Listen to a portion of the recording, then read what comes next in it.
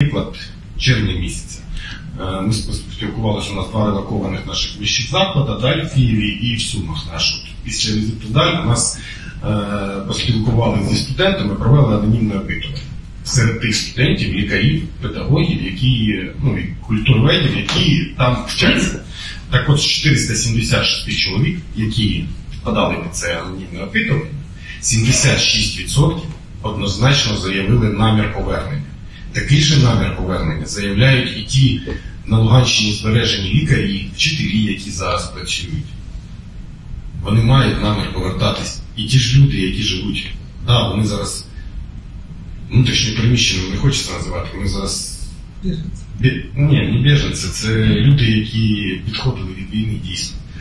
Те, що стосується про дітей про освіту, те, що ви задали. Я приведу простий дуже приклад про наших дітей, і, до речі, спочатку про луганських дітей, да, сказали ті, які е, в окупації вже 10-й рік. Да? Я вам наведу простий приклад. Цього року за спільною програмою державною там задіяні різні структури, не можу всі називати.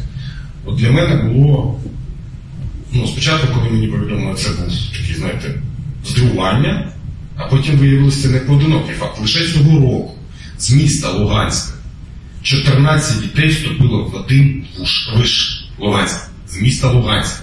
Виш, який релокований тут, 14, тільки один. Ми зараз повністю хочемо зібрати цю інформацію, скільки це з Луганська. Це не з Сєвєродонецька, це не щастя, які окуповані півтора роки. Тому казати про те, що про те, що ми там втратили молодь, ну повірте мені, до 22-го року прекрасно працював від інтернет в Луганську без VPN, і діти бачили так само молодь, яка молодь зараз яка цифрова, вони ж не дивляться телевізор, вони дивляться TikTok, WhatsApp, і вони прекрасно бачили, що відбувалося у всьому світі в Європі. Ну давайте казати правду. У нас з тієї території через Турції, через це виїжджала молодь, тоді мандрувала, правильно? І все бачили, що відбувається в Європі. Ну не можна казати про втрачену якусь. Да, є велика частина тих, хто дійсно буде підтримувати. В школі дуже сильно промивались мізки. Повірте мені, зараз спілкуюся з тими, хто виїхали, лише от пробувши в окупації півтора року. Ну дійсно, те, що розказує молодь, те, що розказують люди, ну, голоси рухаються, тому що ну, таке нав'язування йде.